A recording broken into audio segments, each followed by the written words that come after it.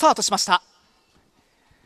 外でわずかに14番クリスタルガーデンいいスタート。内から押していった2番のマチャプチャレ。先行争いさらには10番トモジャボーンも前に上がっていきます。間からは8番のメープルパール10番トモジャボーン先頭です。8番のメープルパール2番手その後ろから6番アジロ2番のマチャプチャレ内目4番手です。その後ろからは7番のジェルミナーレ9番オレンジガール。その後方5番アッフェルリズム3番シェベルニー中段に14番クリスタルガーデン16番アポロノコウリン中段よりも後ろ13番ファインキャプテン以下続いてその後はブラウンビーボの体勢外ラチ沿いに各馬寄ってきています。先頭はわずかにトモジャボーンです。リードを1馬身取っていますがジェルミナーレメープルパールこの内に持ち込んで6番のアジロ徐々に追い上げて2着を切りました。その後ろ追い込んでくるのは外からは9番オレンジガールなど持っていますが外立ちいっぱい粘っている。トモジャボーンこのうちに持ち込んでジェルミナーレ内外離れて2頭の接戦になった。前の2頭は並んでゴールイン